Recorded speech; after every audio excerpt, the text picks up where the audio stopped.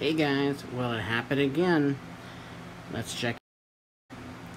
So the White House released a news media press out to the public where President Joe Biden was answering questions that the media was asking him.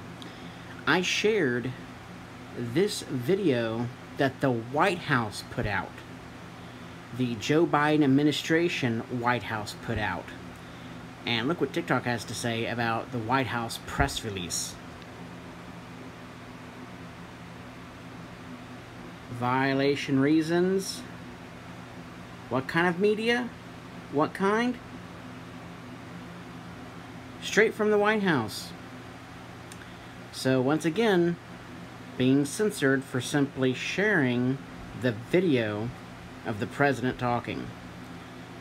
If the White House doesn't want people to share the videos, they shouldn't put them out for people to share.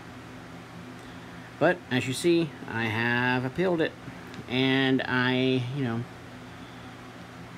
out of the 80 videos that people have reported or TikTok has just simply listed as violations, um, I've gotten 70 out of the 80 restored, so we'll see how this one goes. But the, for those who were asking earlier where one of my videos went, that's what happened to it. The, it was the video called Two Reasons. Uh, Joe Biden was asked um, why they went somewhere and what was the reason that they went there. And he said, well, they, we went there for two reasons. And that was the video clip of him giving the two reasons. But apparently, when it comes literally out of the president's own mouth, it's that type of media don't want to say the words so they won't try to tag and take this video down. Shadow banning and censorship. Yep, it's real thing.